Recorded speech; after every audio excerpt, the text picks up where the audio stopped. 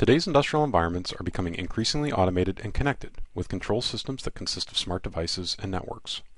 Automation provides benefits like the ability to accommodate change, which decreases time to market and reduces the cost to produce goods and provide services. Recognizing the benefits of a connected industrial environment or connected enterprise does not come without planning and careful consideration. Think for a moment about your personal information and automation systems. You take steps to secure and recover the information and configuration of your phone, tablet, and personal computer because you recognize, aside from inconvenience, the loss of personal data can be costly.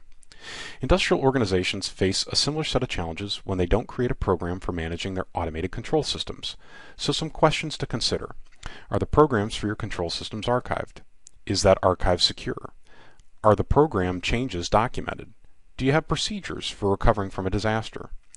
An automation asset management program is really all about the coordination of people, process, and technology. If you don't have a program for managing your automation assets, Rockwell Automation can help Downtime can be costly, and we know from a survey of our customers that an hour's worth of downtime in many industries is in excess of tens of thousands of dollars.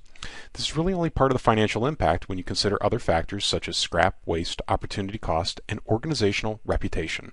So having a program makes business sense.